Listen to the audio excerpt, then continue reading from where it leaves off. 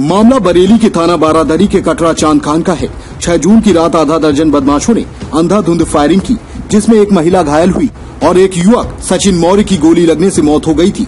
प्रभारी निरीक्षक नरेश कुमार त्यागी के निर्देशन में टीम ने बाइक पर सवार होकर फायरिंग कर शहर में दहशत फैलाने के पाँच आरोपियों हरून नगला के जंगल से गिरफ़्तार कर लिया।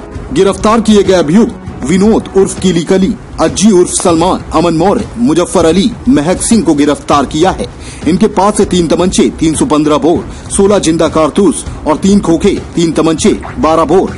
10 कारतूस 12 बोर, दो खोखे बरामद किए। पुलिस टीम में सीओ थर्ड अभिषेक वर्मा, नरेश त्यागी, दारोगा संजय सिंह शिव शंकर कौशल नरेश आदि मौजूद रहे।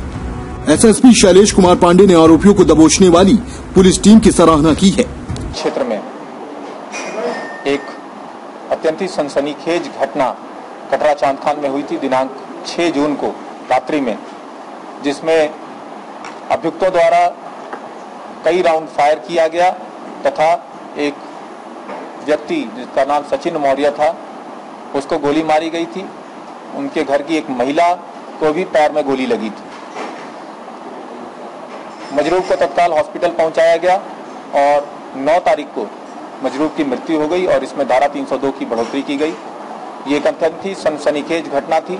इस घटना में पुलिस टीम ने सराहनीय कार्य करते हुए कुल पाँच अभियुक्तों को गिरफ़्तार किया है, जिसमें तीन अभियुक्त विनोद अज्जी और अमन मौर्य।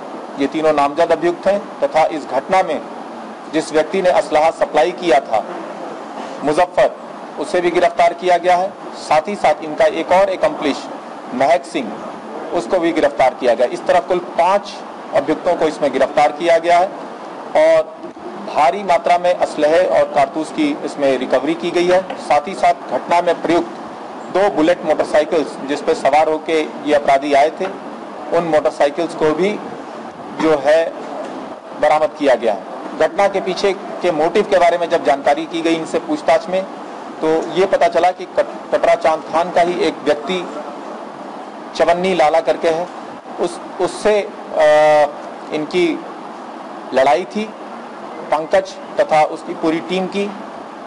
इसी में दहशत फैलाने के उद्देश्य से इस तरह की घटना को अंजाम दिया गया था। इसमें जो शेष अभियुक्त हैं, उनके लिए हमारी पुलिस टीम काम कर रही है। जल्द ही उन अभियुक्तों को भी गिरफ़्तार करके उनसे उम्मीद है कि और असलहों की हम बरामदगी सुनिश्चित कर सकते देश दुनिया की हर छोटी बड़ी खबर देखने के लिए हमारे चैनल इंडियन समाचार को सब्सक्राइब करें और बेल आइकन दबाएँ, जिससे आपको हर खबर समय से मिलती रहे।